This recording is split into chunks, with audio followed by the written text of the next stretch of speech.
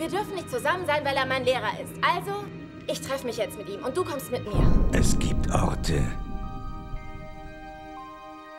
die man gar nicht beachtet.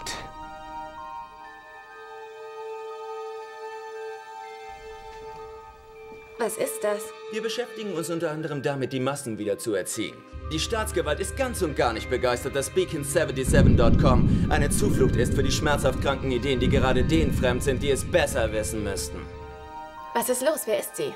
Die Abläufe hier bei uns sind kompliziert. Was seid ihr bloß für kranke Typen? Wir hacken uns ins Privatarchiv des Vatikans und laden uns die älteste Version der Tora runter.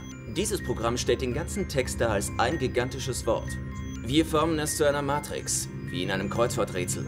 Und da sind Wörter, signifikante Wörter, die sich kreuzen, versteckt im Text. Okay, wir werden gejagt. Da spielt irgendeiner mit. Irgendjemand ist hier drin!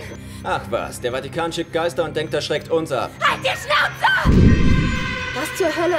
Öffne die Tür! Ich habe genug von Psychos und Freaks und Geistern und wären Codes! All die Informationen verleihen die Fähigkeit, die Zukunft vorherzusagen. Er ist durchgeknallt, Kendra. Er begreift nicht, dass das Ganze nur ein krankes Spiel ist. Niemand ist folgensicher. Wieso hältst du dich? Ah! Madame X wollte was dazu sagen.